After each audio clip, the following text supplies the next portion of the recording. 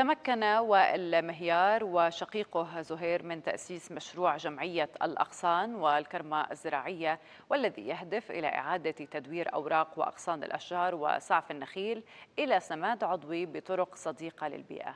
يهدف هذا المشروع أيضا إلى تدريب المجتمع المحلي في محافظة مادبة على الاستفادة من مخلفات الخضار والفواكه لتحويلها لسماد عضوي لإفادة المجتمع المحلي.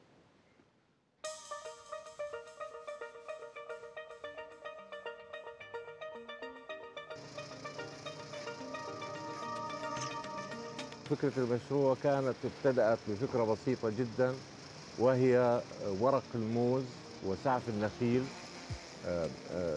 المزارعين مش عارفين كيف يتخلصوا منه ففكرنا إنه ممكن نجرشه ونوديه لمزارع الدواجن بدلا من نشارة الخشب.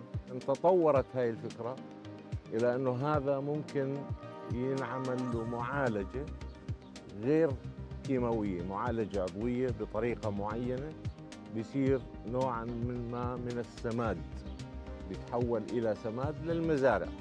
نجمع أوراق الشجر وسعف النخيل الزائد اللي هو مسيء للبيئة وعادة المزارعين بيحرقوه حتى يتخلصوا منه.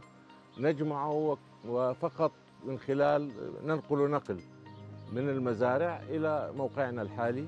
بعد الجرش بيتجمع في بأكوام وهي نفس عملية التحلل تحلل بيئي بيصير من خلال إضافة الماء وبعض المواد الغير كيماوية العضوية 100% وممكن يضاف لها حتى بعض المرات بعض مخلفات الأوراق الخضراء اللي هو الخضروات الغير مطبوخة الغير وبالتالي بينحط في هذا الكوم يضاف إلى الماء ويترك لعملية التخمر الطبيعي.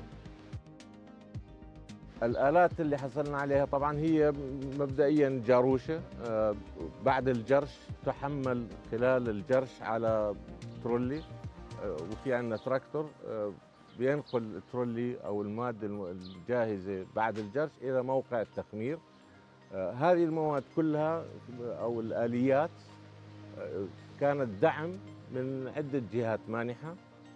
جزء من هاي الجهات أوروبية وجزء منها حكومي دعم حكومي.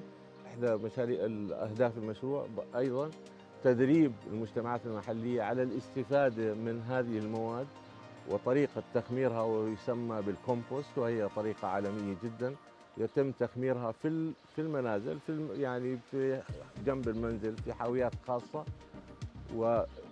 والهدف منه إدرار دخل وإن كان بسيط لهذه المجتمعات من خلال عمل هذا المشروع تدريبهم عليه إنتاج الكومبوست أو المادة اللي تنتج منها. ونقوم نحن بشرائها. ويصبح سماد عضوي 100% عضوي بدون رائحة بدون حشرات بدون فطريات بدون أي شيء. ومعنا عبر سكايب من عمان ضابط أول في الدمج والنوع الاجتماعي في في منظمة أوكسفام راما أبو عزوم صباح الخير واهلا وسهلا بك معنا راما.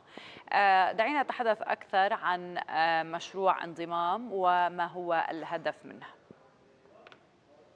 أول شيء صباح الخير عليكم جميعا. مبدئيا تسمحي لي بس أستغل الفرصة واقول لكم كل عام وأنتم بخير بمناسبة رمضان ومن ثم عيد العمال وعيد الفصح المجيد لكل إخواننا المسيحيين إن شاء الله ينعاد عليكم بالصحة والعافية. إحنا مشروع انضمام يعني أنا بشكركم على المثال اللي انطرح قبل شوي هو مشروع ذو مظلة كبيرة وواسعه عم تشمل مشاريع ذات أهداف اجتماعية. هذا المشروع هو مقدم من مؤسسة اوكسفام بدعم من الاتحاد الأوروبي وبالشراكة مع مؤسسة أو جمعية المبتكرين الأردنية TTI.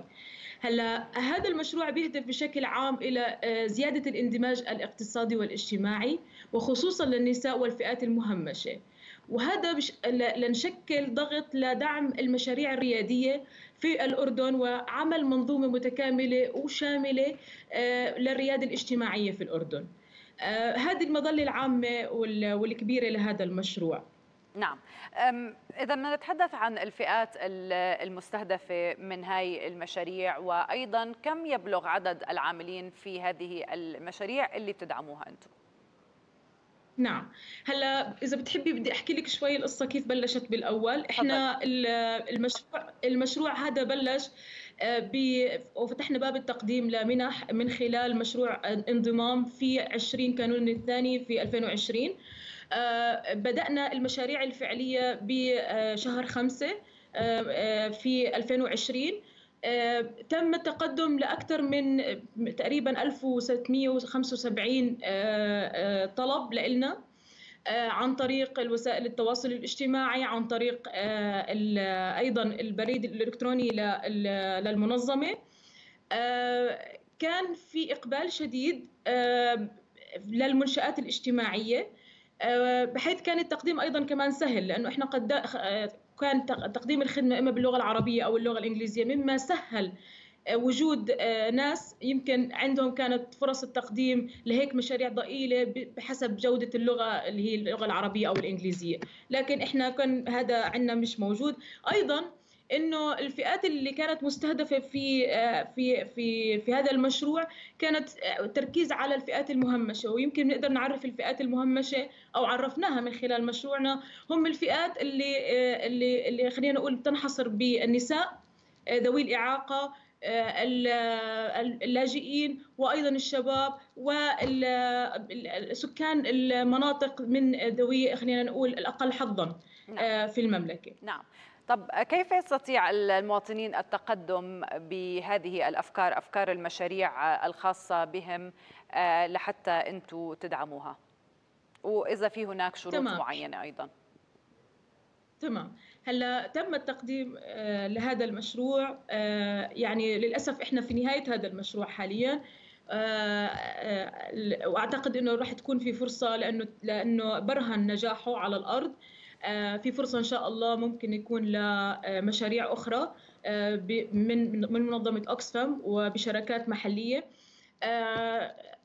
المشروع بشكل عام استهدف خلينا نقول المحافظات جميعها واستهدف أيضا مؤسسات ومنشآت اجتماعية آه، من المناطق الأقل حظا آه، في الوصول إلى المنح آه، الموجودة.